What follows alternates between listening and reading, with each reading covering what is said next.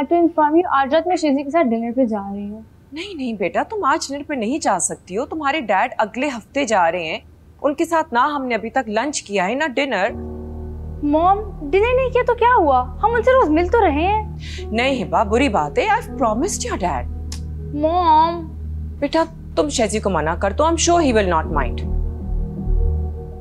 और हाँ जरा उससे पूछो तो सही। उसका शादी का क्या प्लान है? क्या? किसकी शादी मॉम? तुम दोनों की शादी what else what are you saying mom? शादी अभी से?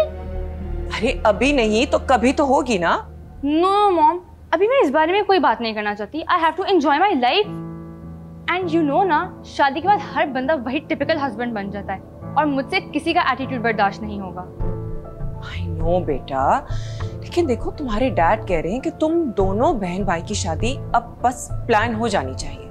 मॉम डैड से मैं बात कर लूँगी। डोंट यू वरी हाँ भाई से आप बात कर लें एज यू विश